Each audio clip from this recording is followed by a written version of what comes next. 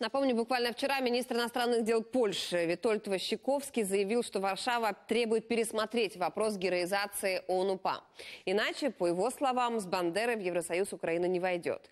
А в Германии сейчас прибывают первые участники саммита «Большой двадцатки», который стартует в эту пятницу в Гамбурге. По сообщениям немецких СМИ, канцлер Германии Ангела Меркель, российский президент Владимир Путин и президент Франции Эммануэль Макрон обсудят на полях G20 и урегулирование украинского кризиса в том числе. Когда состоится встреча, пока не ясно. А вот о чем еще будут говорить мировые лидеры и как идут последние приготовления к саммиту, узнаем от Татьяны Лагуновой. Такие довольные лица лидеров одних из самых влиятельных стран мира увидишь нечасто.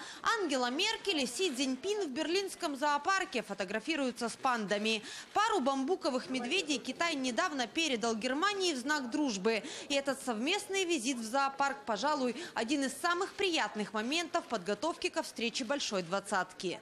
Саммит 20 будет одной из самых непростых международных встреч. В Гамбурге ждут сразу несколько лидеров, с которыми у Европы сложные отношения. Это Дональд Трамп, Владимир Путин, Реджеп Эрдоган. С ними и другими участниками двадцатки хозяйка саммита Ангела Меркель планирует обсудить как официальную повестку, климат, миграционный кризис, борьбу с терроризмом, так и незаявленные, но не менее важные темы, среди которых и ситуация на востоке Украины.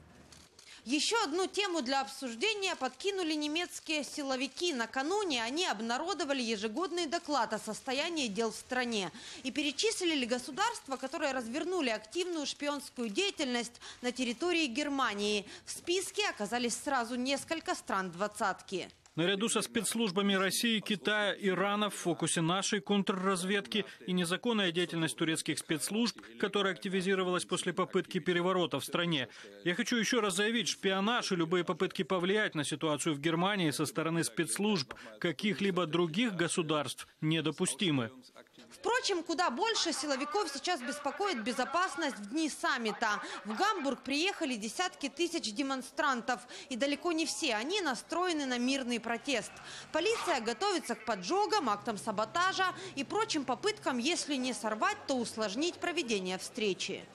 Мирный протест разрешается и приветствуется в нашей демократии, но ни один демонстрант не вправе решать, когда и где встречаются лидеры, которые прибыли в Германию по приглашению канцлера.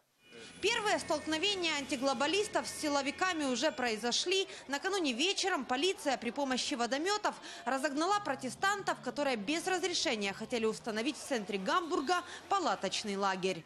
Татьяна Лагунова, Геннадий Никеенко. Подробности немецкое. Бюро телеканала «Интер».